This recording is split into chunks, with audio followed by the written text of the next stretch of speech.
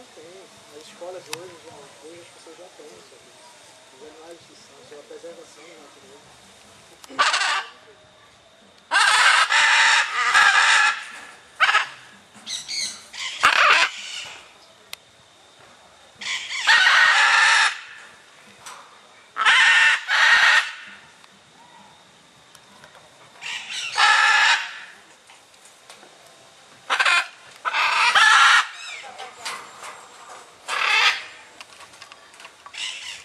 Próximo tem camarão aqui atrás, não sei se vocês conhecem, criação de camarão, tem peixe lá pra mais próximo ao mangue, tem hora aqui de mangue, chegaram a conhecer não? Não, tinha. Aqui em frente você saindo dá em torno de 10 a 15 minutos andando- caminhando. Né? Uma hora bem bonita. Chegasse a conhecer não? Não. Pronto, tem a coroa do avião ao, ao fundo e a ilha de Tamaracá, né? É bem legal o local. Você está hospedado na ilha de Tamaracá? Pronto, aí daqui a gente tem um visual bem bonito mesmo do mangue, né? Bom, então o trabalho nosso é esse, voltado para trabalhar educação ambiental com criançada. E é, no caso nós recebemos crianças do maternal até a oitava série, que hoje em dia é o nono ano, não é isso? E a gente, na verdade, quer trazer a criançada para esse contato mesmo com a natureza, um espaço aberto, tirar a criançada do, de apartamento, o tempo inteiro videogame, esse tipo de. Realmente falta esse contato, né?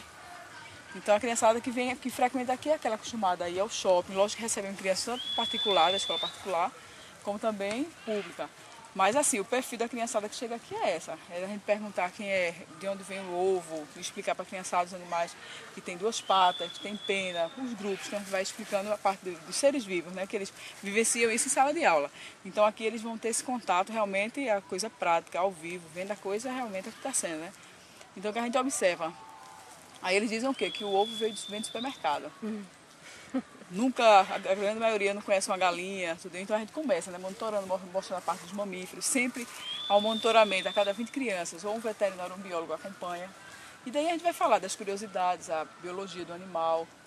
Tem alguns animais que eles podem tocar, alimentar.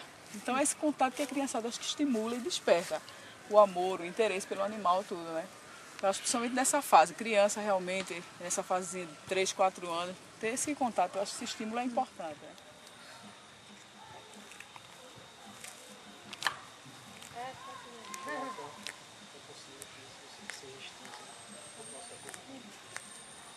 No Brasil nós temos muitos problemas com paisagem, além de contrabando, as reservas estão sendo destruídas, progresso.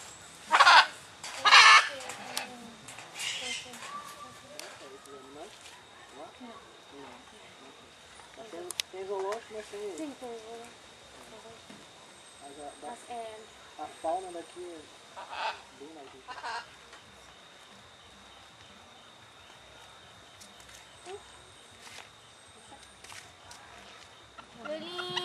Da maldade. E já aí tem espaço, né?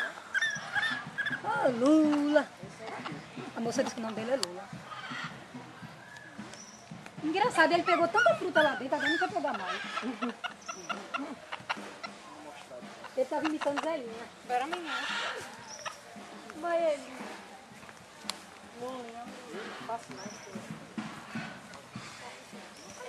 Lindo, rapaz. E o, Eita, ele fez o, cocô, o, é? o dali é Sansão, né? Sansão. Sansão. Parece que ele tá velhinho, tá?